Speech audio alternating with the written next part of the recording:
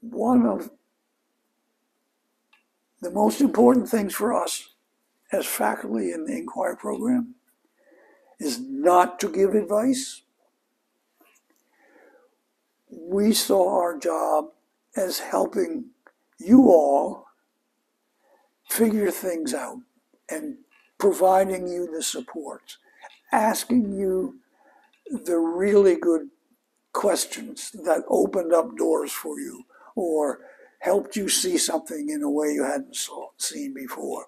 So we we chose those questions. So we had a sense of it would be helpful if this if you got this opened.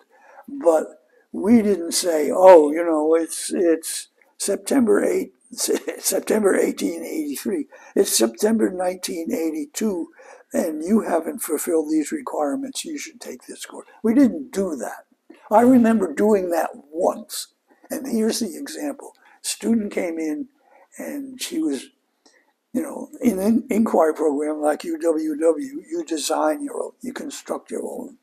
And and she she was floundering about something and I said, you know, Marcy, I think this is a good semester for you to take a course with, and I named a faculty member for whom I had great respect, who I thought would help me. And, and Marcy said, What's he's teaching? And I said, I don't know. It doesn't matter.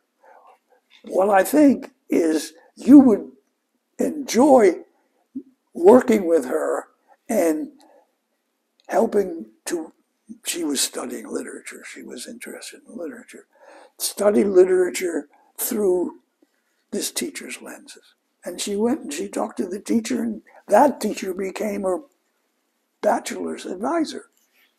Uh, that's the one time I think I came close to.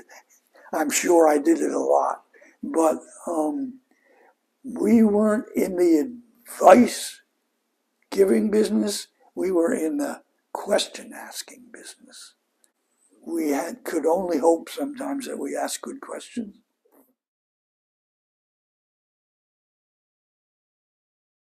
I had no idea in concrete terms what her future was going to be. But when I look, when I, you know, know what she's done in the intervening years, and I look at your list, theater work, interfaith pilgrimage of the Middle Passage, and her work in South Africa. I say, of course. That's where she was headed the whole time. But it wasn't a destination. It was a life, emotional, spiritual, intellectual, aesthetic journey that she was on. But it wasn't like a pilgrimage to a place. It was a journey through life. And these were, let's say, the stops along the way. But she created them. She wasn't going to a shrine that some group of other people created. She was, and it, none of those three things that she's doing or did were things. They were processes. They were interpersonal, multi-personal, aesthetic, spiritual, political activities. That's who she was when she arrived.